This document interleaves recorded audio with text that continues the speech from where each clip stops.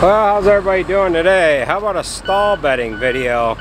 This is the sand truck that I ended up putting a new bed on. Um, last week, it is Monday, September 30th, and uh, Monday is our day to bed stalls.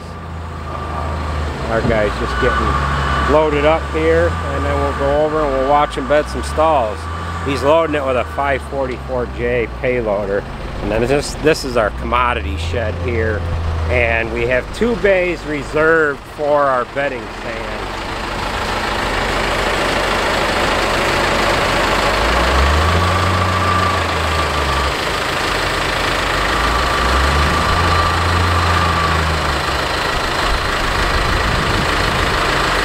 Alright, he's loaded up. He's going to head on over and uh, we'll watch him put some sand in the stalls. All right, there's the two bays that we um, store the sand in at the commodity shed. Now, while we were working on the sand truck, we were using our trailer spreader to put sand in with it. It's hooked to the 4320 here. And we've had this for several years and we pull it out of storage every once in a while um, and use it while the sand truck is getting worked on or whatever. So this holds about two-thirds as much as the sand truck itself, made by the same company. Everything's all the same on it, basically. Hydraulic valve body is right there.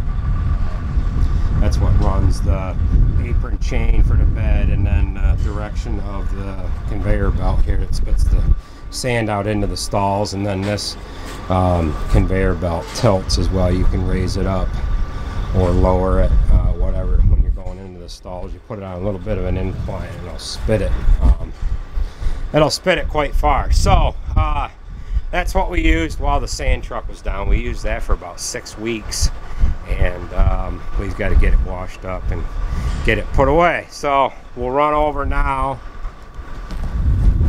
So we'll run over now we'll watch him put some sand in.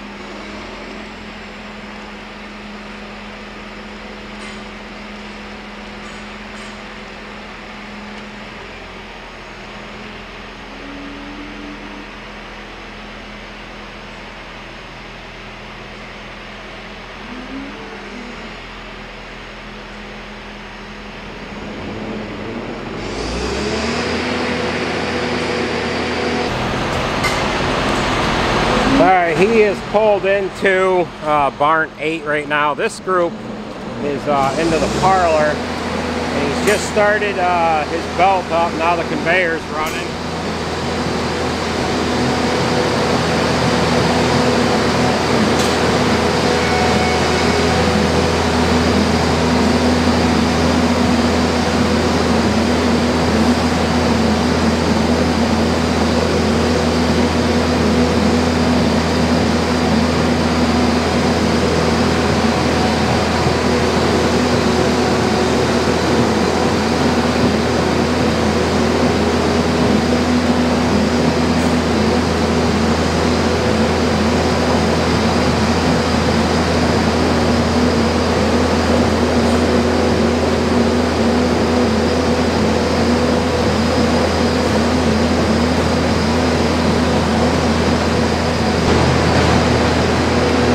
he is in barn 8 right now. When we bed the cows, we usually bed them when we pull the groups into the parlor so that we don't have to disrupt the cow traffic at all. When we pull the cows up and put them into the parlor, the sections are empty where he has to bed, so he's able to get in and out of the freestall without disrupting anything. But right now he's got about half load off. Just bed right along here.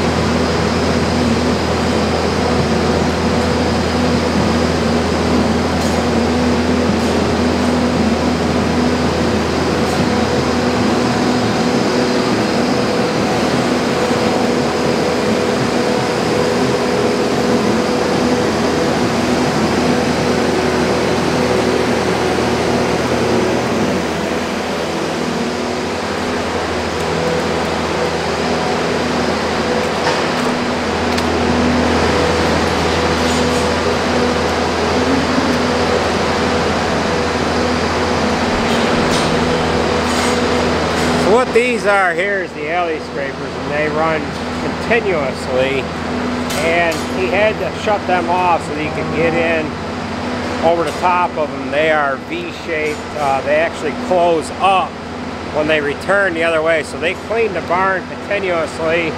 They just go in one direction until they get to the end and they turn around and go the other direction.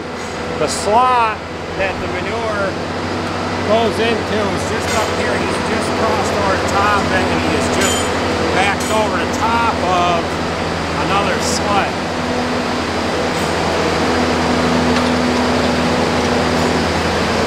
So this sled is on the return and that is closed back up when that gets down to the other end. Just past about where that other one is, it will open back up again when it goes this way drops the manure down in through the slot. So now he is backing up and he's going to finish out this section here. He's got just about enough sand on to do this whole side here. Those cows haven't been milked yet. They're, they'll be going up into the parlor next. Cows, uh, there's three groups on this side of the barn. There's that group way down the end. They've already been into the parlor. Now this, this middle group has gone in. We take that whole group into the parlor, let them return on the feed alley side. Then this third group here, we bring up through um, the stall section on that middle section. And then when everybody returns, these these two groups are actually together. But when they return, they'll end up returning back into uh, the feed alley here. So he's just about done um, with this one section. He will be just about empty when he gets down to the curb where the water, there's a water on the other side of that cement wall there. He's backed over another alley scraper sled. Just about empty. He's got it pretty well figured out. He's right down to his last stall and the sand truck itself is empty.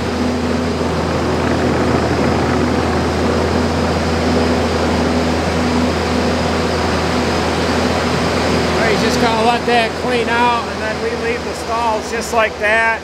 The cows will end up pulling some of this sand back into the curb there.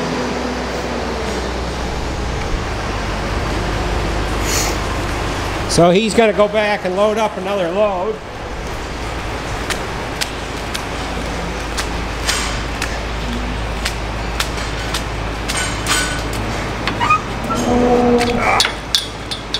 Get the right latch here.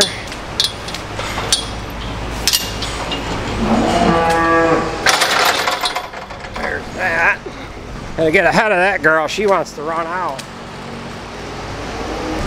As long as we're up here in this barn, we might as well show you these alley scraper units. We've got five of these. We've got two in this barn. This one does this side of the barn, and that one over there does that side. And what I'm actually standing in is the addition part of the barn. The um, shell is all done, but we've got to do the interior work yet. Uh, they've got to come and pour um, concrete. They've got the floor all done. It's all level to the point of they just got to put the curbs in for the feed alley and for the stall beds. So there'll be a row of stalls down that far perimeter wall there and then there'll be head-to-head -head stalls here where these center posts are and then where I'm standing now is the area where they're going to eat from and then we'll have the feed alley will be where my truck is sitting this is going to continue right on down through here, down to the other end there. So, um, so that's to about do it for this uh, video for bedding. Um, I know a few people wanted to see that getting done, so that's to do it, folks. So I want to thank you for watching, and we will catch you at the next video.